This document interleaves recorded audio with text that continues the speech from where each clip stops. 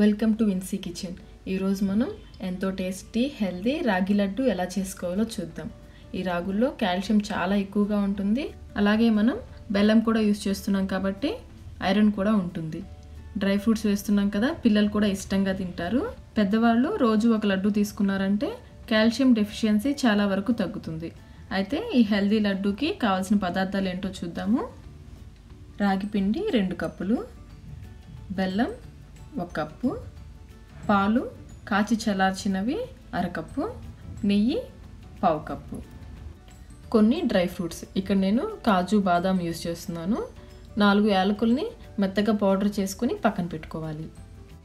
ప్యాన్ని heat చేసుకుని one tablespoon నెయ్యి వేసుకోవాలి. ఈ నెయ్యి కాగిన తర్వాత కాజు బాదం వేసి వేయించుకోవాలి.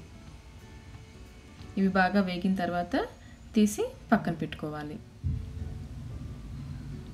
ఇప్పుడు ఇదే ప్యాన్లో టూ టేబుల్ స్పూన్స్ నెయ్యి వేసుకోవాలి.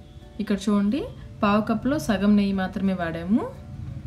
ఈ నెయ్యి వేడైన తర్వాత రాగిపిండి వేసుకోవాలి. ఫ్లేమ్ని మీడియంలో పెట్టుకొని దగ్గరుండి వేయించుకోవాలి. ఈ నెయ్యి అంతా బాగా కలిసేలాగా కలుపుకోవాలి.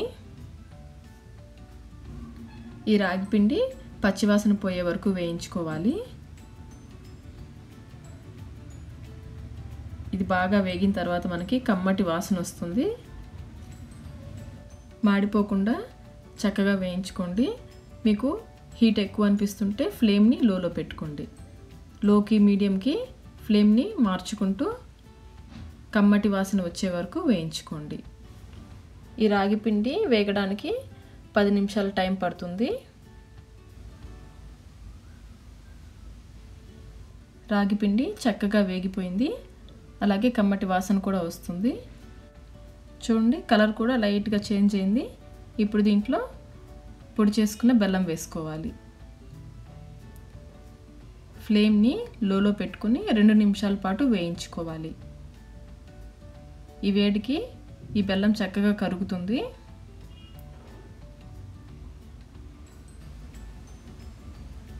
చూడండి ఇలాంటి బెల్లం గడ్డలు ఏమైనా ఉంటే ఈ వేడికి చక్కగా కరిగిపోతాయి.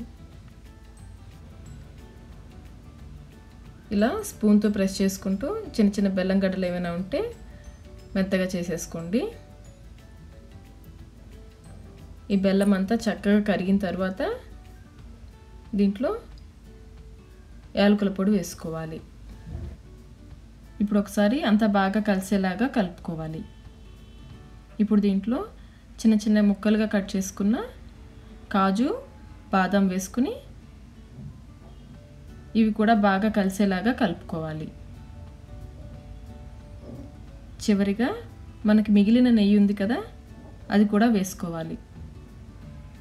మీకు నెయ్యి ఫ్లేవర్ ఇష్టం ఉంటే ఈ నెయ్యి అంతా వేసేసుకోండి. ఈ నెయ్యి అంతా బాగా కలిసేలాగా కలుపుకొని స్టవ్ ఆఫ్ చేసేసుకోండి. ఇందులోనే ఉంచేసామంటే వేడి తొందరగా చల్లారదు కాబట్టి ఈ మిశ్రమం అంతా మరొక ప్లేట్లోకి ట్రాన్స్ఫర్ చేసుకోవాలి. ఇప్పుడు దీన్ని కొద్దిగా చల్లారనిద్దాము. ఇప్పుడు ఈ మిశ్రమం గోరువెచ్చగా ఉన్నప్పుడు కొంచెం పాలు మొత్తం ఒకేసారి కలుపుకోకూడదు. కొంచెం కొంచెం పోసుకుంటూ కలుపుకోవాలి. మరీ ఎక్కువ పాలు పోయొద్దు. చాలా కొంచెం టూ స్పూన్స్ పాలు పోసుకుని ఇలా లడ్డూలాగా చేసుకోవాలి. ఇవి వన్ వీక్ వరకు నిలువ ఉంటాయి. మీకు ఇంకా ఎక్కువ రోజులు నిలువ ఉండాలనుకుంటే పాలకు బదులు నెయ్యి వేసుకుని ఇలా లడ్డూల్లాగా చేసుకోవాలి. పిండంతా ఒకేసారి పాలు పోసి కలుపుకోకూడదు. ఇలా కొంచెం కొంచెం పోసుకుంటూ చేసుకోవాలి. కొంచెం గట్టిగా ప్రెస్ చేసుకుంటూ లడ్డూలు చేసుకోవాలి. అంతేగాని పాలు ఎక్కువ పోసుకోవద్దు. ఇలా గట్టిగా ప్రెస్ చేసామంటే ఈజీగా లడ్డూలు ఫామ్ అవుతాయి. మళ్ళీ ఒకసారి చూడండి. చాలా కొంచెం పాలు పోసుకుంటూ చేసుకోవాలి. ఈ లడ్డూలు తినేటప్పుడు మధ్యలో నట్స్ తగులుతూ చాలా టేస్టీగా ఉంటాయి. అలాగే నేను రాగి పిండితో రాగి దోశ రాగి సంకటి రాగి రొట్టె కూడా చేశాను. లింక్స్ డిస్క్రిప్షన్లో పెట్టాను. ఒకసారి చూడండి. చివరిగా నాకు అరకప్పు పాలలో ఈ కొంచెం పాలు మిగిలాయి.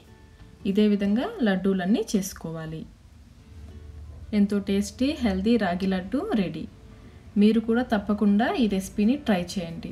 మీకు నచ్చినట్లయితే లైక్ చేయండి షేర్ చేయండి కమెంట్ చేయండి. మా విన్సీ కిచెన్కి సబ్స్క్రైబ్ చేయడం కోసం కింద ఉన్న సబ్స్క్రైబ్ బటన్ని ప్రెస్ చేయండి.